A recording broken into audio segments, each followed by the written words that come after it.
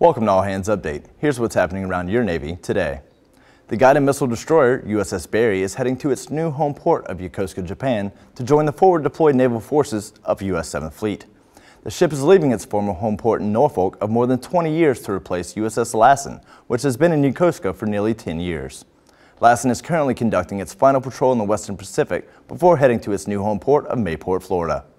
The last S-3B Viking in U.S. Navy service took off one last time from the runway at Naval Base Ventura County, Point in California. The Viking was originally introduced in 1974 as a replacement for the S-2 Tracker and has performed various roles such as anti-submarine warfare, organic tanking, electronic intelligence, and carrier onboard delivery.